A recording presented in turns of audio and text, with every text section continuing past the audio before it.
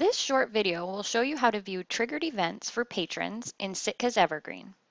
Sitka's Evergreen can email pre-due, overdue, patron welcome and expiry notices, as well as emailing or texting hold ready for pickup notices, depending on the patron's choice. These notices are generated by action trigger events. An event is created when circulation or hold records meet the conditions set up for the notice. For example, when a new patron account is created. When the event is processed, a notice may be generated and passed to the email server to be delivered to patrons. Triggered events are viewable on the staff client via patron or item records. You can check the triggered events to determine whether notices have been generated for a particular patron or item. To view triggered events for a patron, you must open the patron record.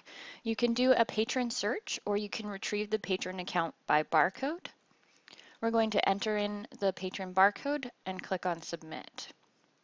The patron account will be retrieved. You can just click on other and select triggered events. By default, events with complete status for pre-due and overdue notices are displayed. Use the filter on the right-hand side to view hold notification events. Click the arrow beside circulation and choose hold in the drop-down list, and then click on apply.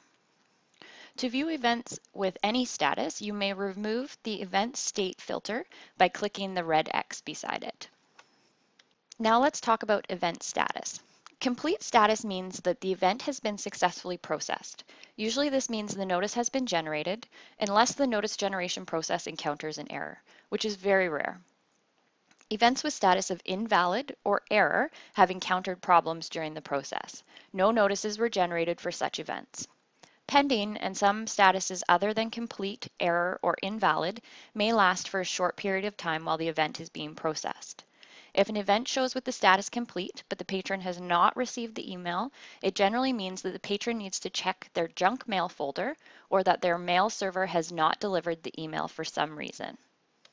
You may reset events with complete status to generate a new notice by selecting the checkbox in front of the events and then clicking Reset Selected Events. You may cancel events with pending status to stop the notice generation by selecting the event and then clicking Cancel Selected Events.